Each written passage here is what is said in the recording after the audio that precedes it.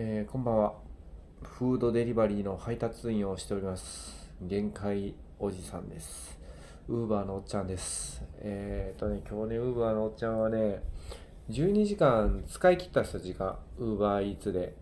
あの、連続稼働できる限界の。でも、売り上げがね、これもうミラーで反転してるけどね、これあの、1万3509円。で、出前館が1万、1万だよ、なんや、1953円。で、合計1万5462円ですわ。今日ね、2024年9月7日土曜日ね、1万5462円。もうめんどくさいからね、この動画ね、あの、ミラーリングしてるやつね、もう一回判定したりしないですけど、いや、僕ね、あの、今月、あのまあ、39万円ぐらい稼ぎたいなと思ってて、まあ、それぐらいないとやっていけないよっていう話なんですけど、まあ、生活がね、うん、あまああの原付2種かな。小型二輪 AT 限定の免許を取りに行くのに7万円ぐらい使ってでの住民税のね2期分を5万円ぐらい払ったんでもうそれだけで、まあ、12万円ぐらい使っちゃったんで、まあ、だから39万円あってもまあカツカツかなと思ってて、うん。まあ、ちょっと今家内と子供たちと別居してるんで子供のね養育費も払わなあかんし。いや無理じゃないかな。フードデリバリーで1本で稼げるかっつったらねその1日12時間やってウーバーイーツ1万3509円ですよ。12時間ですよ。時給1100円とかそんな世界じゃないこれ。やばくない？これガソリン俺多分2回ぐらい1000円ぐらい入れてるからほんまに時給1000円ぐらいで。えぐない。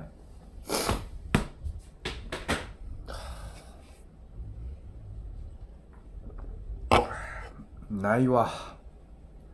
ない。うん。うん。まあまあ出前館はねまだちょっと単価が高いのであれですけど。いやこれねあの鼻水じゃないですよこれもう。涙なんですよ僕これ。あの涙腺からねあの鼻に落ちてくる涙っすわこれ。あの今ちょっと僕あのメンタルやられてて本職介護職なんですけど介護の職仕事行けない状態ででそれでも生活してかなあかんからちょっと会社には内緒やけどギグワークでねあのまあちょっと外出て体動かすのもえええやろうと思って健康のためにっていう体でねあのフードデリバリー始めましたけどね、まあ、今月からなんかなそのフルタイムでまあ専業というかねあの潜りの潜水艦の専業でね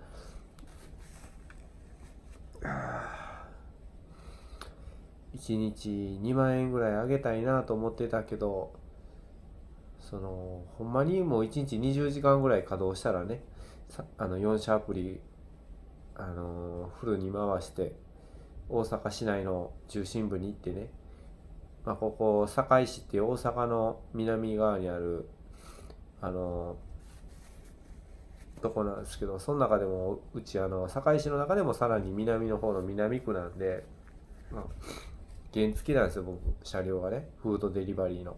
パートナーが相方原付なんでね。でも大阪市内までね普通に出てこう思ったら1時間半ぐらいかかるんですよね。車混んでる時間帯やったら2時間ぐらいかかるしね。うん。夜中夜中でも丸1時間かかるんちゃうかな。うん、まあ、法定速度はねやっぱり守らなあかんし信号も止まらなあかんから。まああれですけど。うん。だから 4, 4社ねあのウーバー出前館ウォルトメニュー契約してるけどもうウォルトとメニューはもう何回も言うけど堺市の南区なんてほぼならないですね。たまにピコーンってなってすぐなんか取られてしまうような感じがするからうん。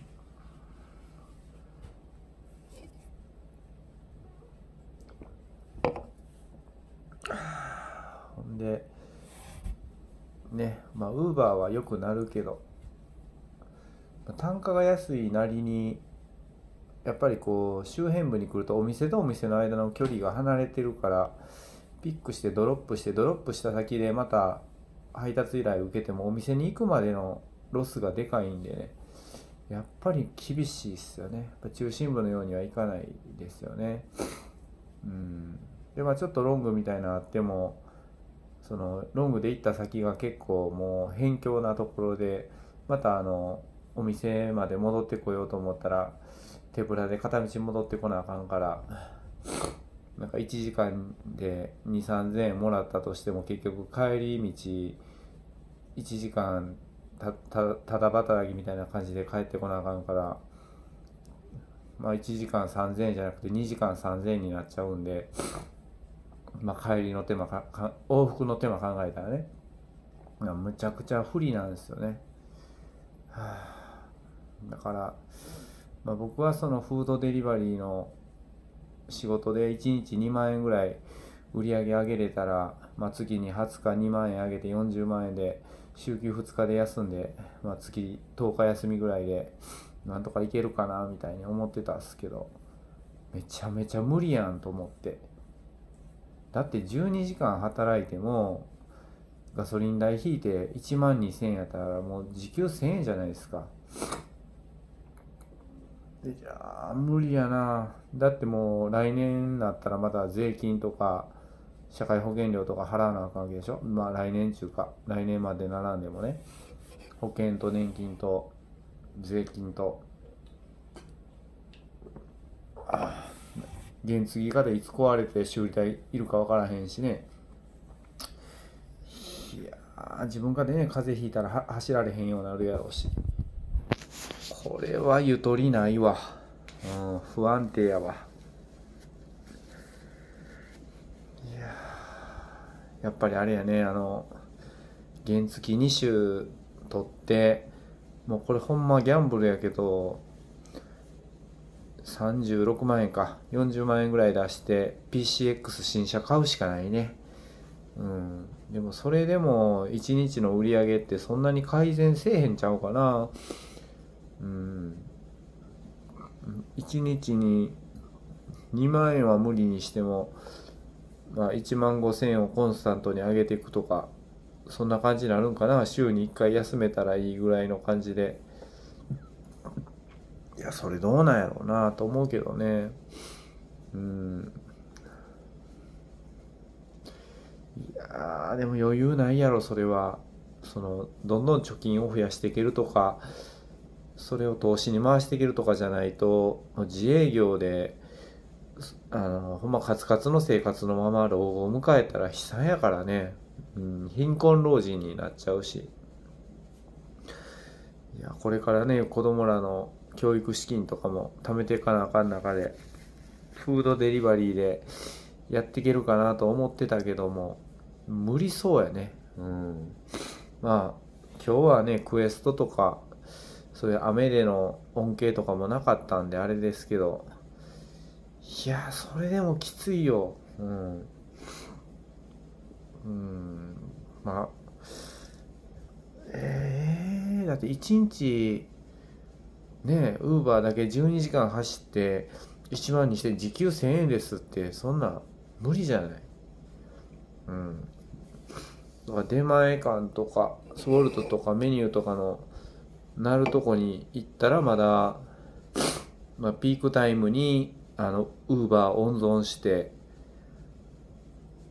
で他のなんていうその深夜とかこのオフピークタイムっていうかなオフタイムにウーバーで間埋めてしてそれでも一日何時間も働かれへんよね。こっからだって難波とか行ったとしてもね片道1時間半とかかかるんやったらねそれで3時間取られるし往復でね。いや無理すぎるで。無理ゲーやでこれ。いややばいな。えやばいやばい。もうもう無理無理無理。ほんまに無理。あのフーデリ一本で専業とか無理やわ。うん。まだまだでもその難波に住んでるとかやったらわかるかもしれんけどいやここのこの堺の南区に住んどってフーデリー1本で家族5人食うてくって言ったら無理やね。うん。いやいやもうこれ諦めなしゃあないんかな。うん。まあ何かしらこうあれやね。そのあの昼食やって副業でフーデリのバイク走らせるのがいいんかな。うん。そんなそんな気がしますけどね。うん。いや無理すぎるな。いや無理無理でこれはあの別に酔っ払ってるわけじゃないです。オールフリーですけどね。いやつらい、うん、まあ明日はなんかね多分お祭りがあるから道路規制とか入るしうん。まあまああんまりねそのこう稼働は控えようかなとは思ってますけどね。こう昼間は子供ちゃんたちと遊ぶ約束があるんで。子供外連れに連れ出すけど晩晩ご飯まで一緒に食べてってなると思うけどね。いやどうしたらいいんやろうねこの稼げないあの低賃金長時間労働ね。慣れ慣れたらなんとかなるんかな。いやちょっとなんか先行き見えんくなってきましたね今日の感じで言うたらね。うん。まあねこういやもうちょっとねもうショックでしたね今日はね。あの12時間使い切って売り上げが1万3000円ぐらいでガソリン代1000円ぐらい入れてるから、まあ、ほんまに1時間1000円ぐらいしか取れてないなっていう感じで。うん。もうだって今月クエストもクリアしたから普通に何も乗らないですからね。その突然アメクエとかやってくれへんかったらね。うん。いやきつあきつきつまあ来来週か。来週またクエストがあるんか。今月じゃなくてね。うん。来週。うん。はあ。だから明日明日はねもう何も追加？追加料金なしでね。いやきついわ。うん。いやもうちょっともう今日はもう寝ますわ。うん。あのー、ありがとうございます。なんかしょうしょうもないもうぐぐちぐちぐちぐちぐち言うてねごめんなさいね。もう12時間やったけど時給1000円しか稼げませんっていう、まあ、そんなウーバーでしたっていう話です。ね。あのー、なんか単価上げるいい方法あったらねあのー、教えてくれたら嬉しいです。はい。どうもお疲れ様でした。ありがとうございます。明日も頑張りましょう。